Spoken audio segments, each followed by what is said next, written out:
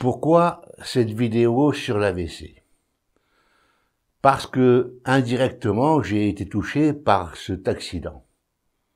Alors ceci est un témoignage qui peut-être aidera une ou plusieurs personnes.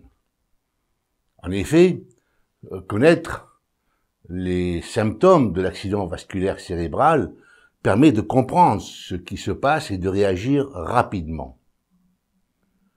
En 1998, ma compagne, ma compagne de l'époque et moi, un soir, nous étions en train de regarder une émission télévisée. Elle était âgée de 32 ans à l'époque.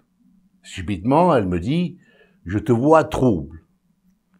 Et je vois toutes les choses en double. Et elle poursuit en disant avec difficulté, je ne peux plus bouger mon bras gauche.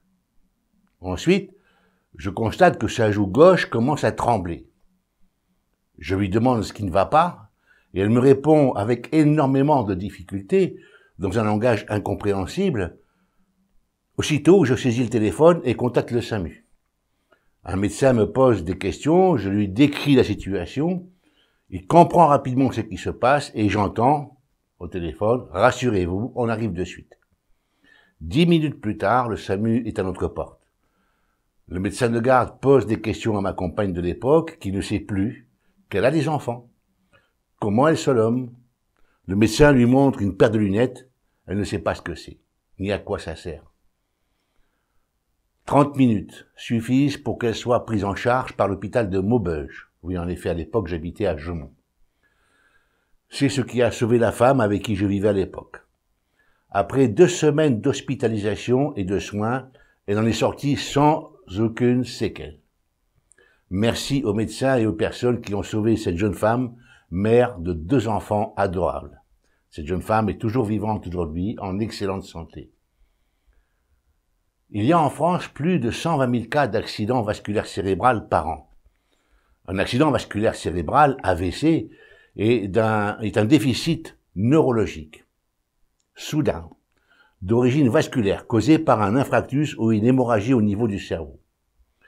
Savoir déceler rapidement les symptômes peut sauver une vie et minimiser les séquelles. Alors comment détecter un AVC Voici quelques constats simples à mémoriser. Faiblesse asymétrique d'un seul côté du corps. Impossibilité de lever les deux bras à la même hauteur. Si c'est le côté gauche qui est touché, donc la personne ne pourra pas lever la main gauche. Un côté du visage reste immobile la lèvre inférieure, est tombante.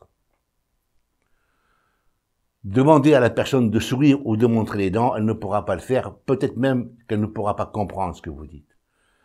Souvent, la personne éprouve d'énormes difficultés à s'exprimer ou à terminer une phrase.